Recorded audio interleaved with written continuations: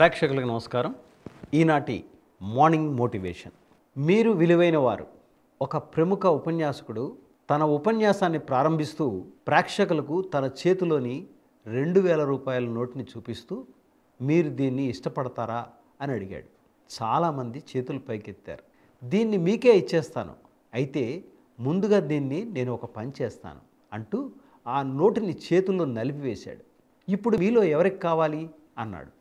చాలామంది చేతులు ఎత్తారు. ఈసారి ఆ నోటుని కింద పడేసి నేలపై గట్టిగా రుద్ది పూర్తిగా నలిగిపోయిన తర్వాత మురికిగా ఉన్న ఆ నోటుని తీసి ఇప్పుడు ఎవరికి కావాలి? అన్నాడు. ఈసారి కూడా చాలామంది చేతులు పైకెత్తారు.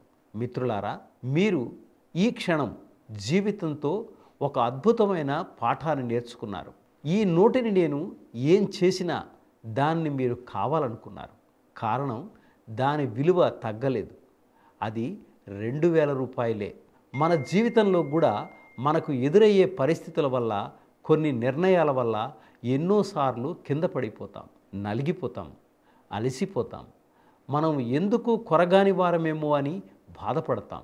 కానీ నిజానికి ఏం జరిగినా జరగకపోయినా మన నిజమైన విలువ ఎప్పటికీ తగ్గదు. మలినమైన అమలినమైన నలిగిపోయినా నవ్యంగా ఉన్నా ఎలా ఉన్నా మిమ్మల్ని ప్రేమించే వారికి మీరు అత్యంత విలువైన వారు మన జీవితానికి విలువ అనేది మనకేం తెలుసు? మనం ఏం చేసాం అనే దాన్ని బట్టి కాక మనం ఎవరు అన్న దాన్ని బట్టే ఉంటుంది. మీకు మీరే విభిన్నమైన ప్రత్యేకత కలవారు. అన్న విషయం మర్చిపోవద్దు. ఇతరులు మీ గురించి ఏమనుకుంటున్నారనే విషయం గురించి చింతించవద్దు. వారు కూడా వారి గురించి ఏమనుకుంటున్నారో అని ఆలోచించడంలో బిజీగా ఉన్నారు. ఇతరులు ఏమనుకుంటున్నారు అనేది ఆలోచించడం అర్ధరహితం. వారి అభిప్రాయాలకు విలువ లేదు.